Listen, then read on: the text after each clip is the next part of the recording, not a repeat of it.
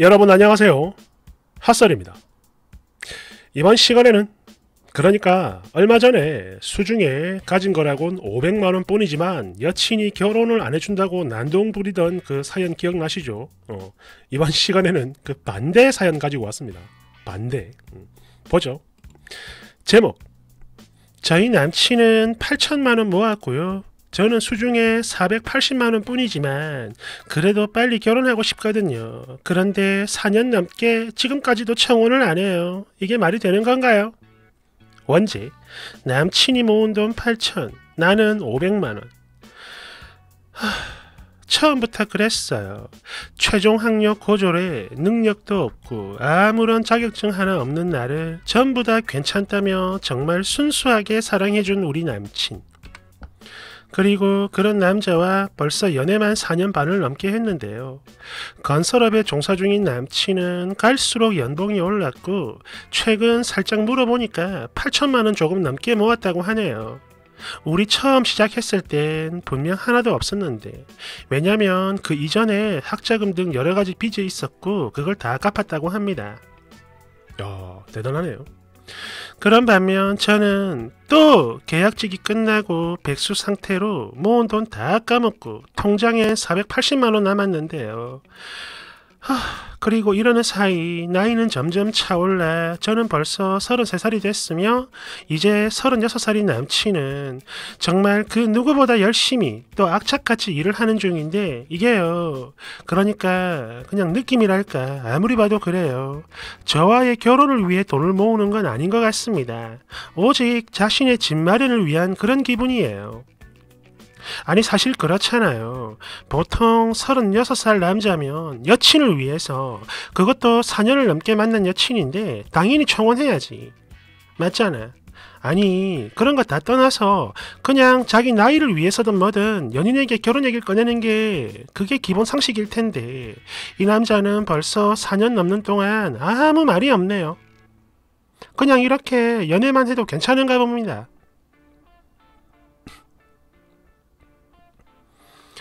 물론 그렇다 해도 저한테 사랑을 주는 건 변함이 없지만 오히려 이런 모습이 제 마음을 더 아프게 해요. 힘들게 하고. 그러니까 며칠 전에 이 남자가 아무 기념일도 아닌데 평소 제가 좋아하던 브랜드의 운동화를 깜짝 선물로 줬습니다.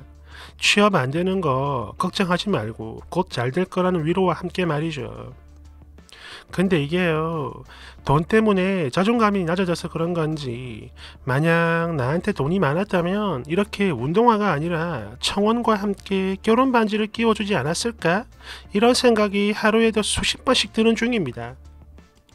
정말 미쳐버리겠어요. 특히 제가 살고 있는 지역에 큰 공장 단지가 있고요. 그런 영향 때문에 남초 회사가 정말 많습니다. 해서 제 주변에 시집을 빨리 간 친구들이 참 많은데요. 그러다 보니 딱 저 혼자만 남은 느낌이 들고 마음이 점점 더 조급해지고 하루 종일 울적해집니다. 자기 남편, 그리고 아이들과 함께 보내는 일상들, 인별을 통해 보면 정말 너무 행복해 보여요. 아마 저에겐 꿈 같은 일이겠죠? 그리고 이렇게까지 심하게 그것도 제 스스로 주눅이 드는 걸 보면 남친과의 결혼이 엄청나게 하고 싶었나 봅니다.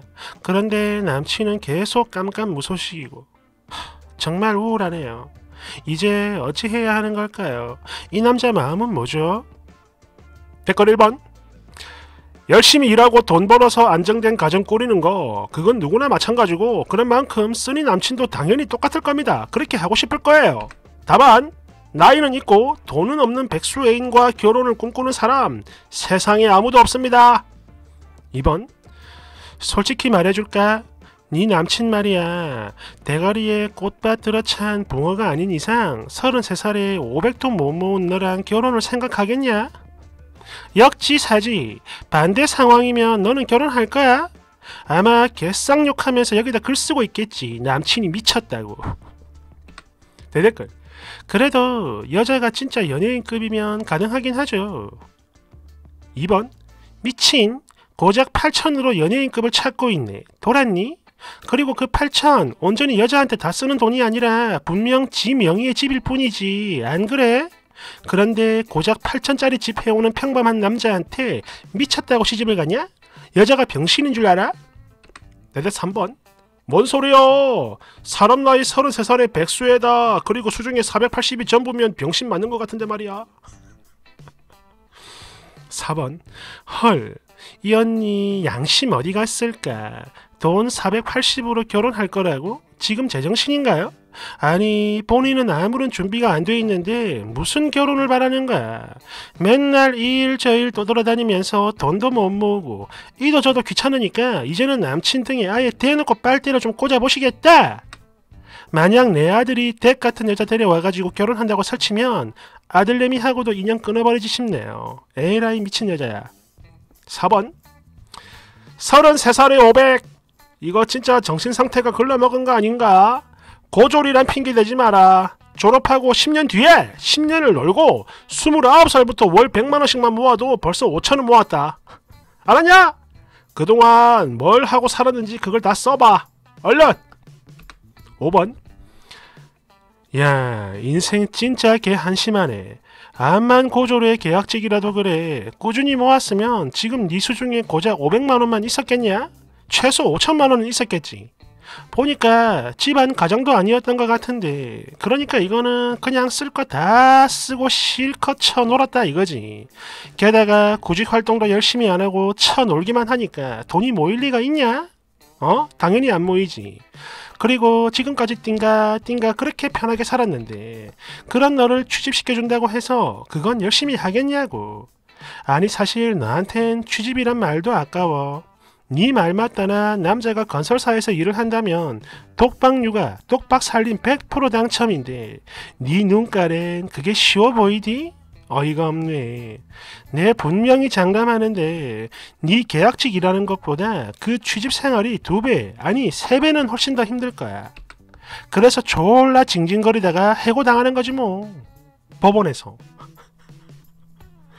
6번 근데 이게요 뭐 미신이긴 하지만 보통의 경우 신발은 그거 신고 도망간다고 연인들끼리 선물로 안 주고 그러지 않습니까? 대댓글. 헐! 그러네!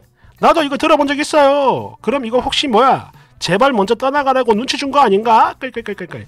야 이 그지 같은 년아. 좀 알아서 가라! 이거 말이죠. 7번 그래도 여기가 여초 사이트라 사람들이 많이 봐주는구만?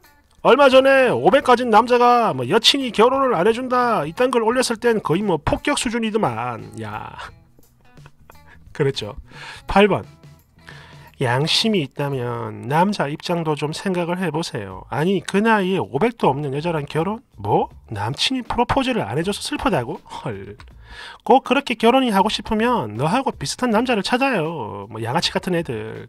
그게 아니면 그냥 이렇게 연애만 하든가. 보아하니 애 낳고 어쩌고 전업을 하고 싶은 모양인데 일단 님 돈으로 집에 10원도 못 보태는 거 그건 그렇다 쳐도 가전은 살 수 있습니까?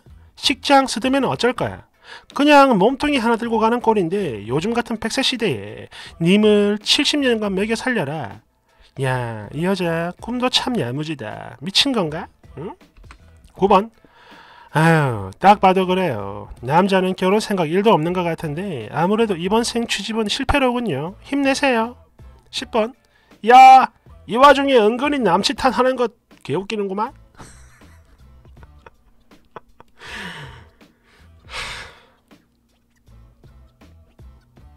저번에 그때 걔하고 둘이 이게 맺어주면 참 어울리겠네요. 음.